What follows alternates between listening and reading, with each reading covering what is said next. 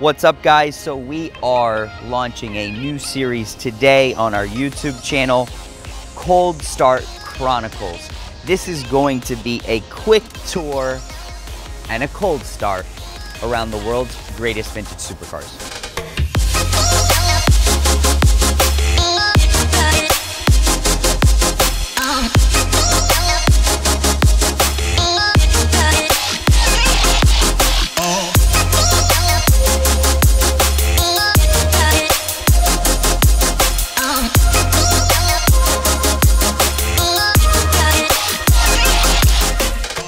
So when people ask me what's the best modern classic, something you could drive but still evokes sort of a classic car experience, I have to say one of my favorite Ferrari examples that matches what a modern classic is, is the 550 Maranello.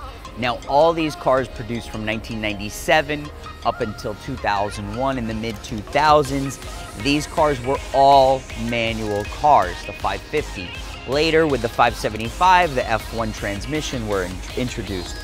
I'm absolutely in love with these cars. They're comfortable, the AC is great, they're very rare, okay? Ferrari only produced a couple thousand of these for the world in all years.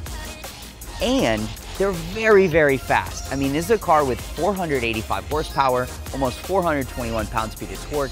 So this is arguably one of the best sounding Ferraris ever. Yes, I said it. The 550 Maranello. Now, you do have to add an exhaust. Um, I always, I, I, think the best sounding exhaust on this car is the Tubi Style. They make a Tubi tube exhaust, and it really opens up the V12 sound. It reminds me of the best of all worlds. It reminds me of the classic 275 GTB, basically with the components of a modern car. Absolutely love this car. Let's get it started.